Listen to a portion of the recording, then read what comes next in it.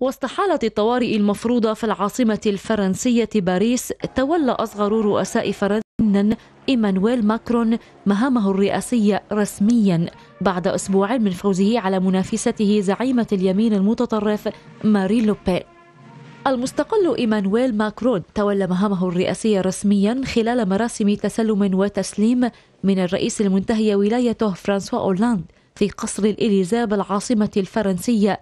كرئيس ثامن للجمهورية الفرنسية الخامسة لفترة تستمر خمس سنوات.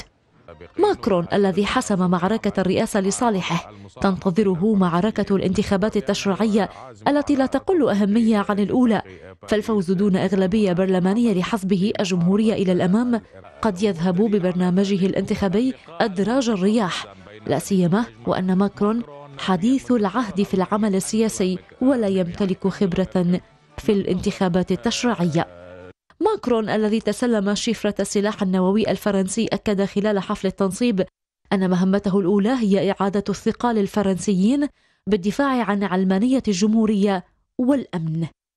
إن الفرنسيين اختاروا الأمل وروح الانتصار ورفضوا الانعزال أو الانقطاع عن العالم أو الانقسام وجددوا إيمانهم بالقيم التي جعلت منهم شعبا عظيما.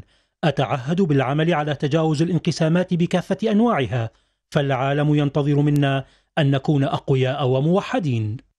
ورغم أن مصدرا مقربا من الرئيس ماكرون قال إنه سيتم تعيين رئيس الوزراء الجديد غدا والإعلان عن أعضاء الحكومة الجديدة سيتم الثلاثاء المقبل بيد أن الترشيحات الأخيرة لم تصدر بعد إذ سيحاول ماكرون وبحسب مراقبين للشأن الفرنسي استمالة أعضاء من اليسار واليمين والمعتدل عله يصبح رئيسا لكل الفرنسيين كما صرح خلال حملته الانتخابية.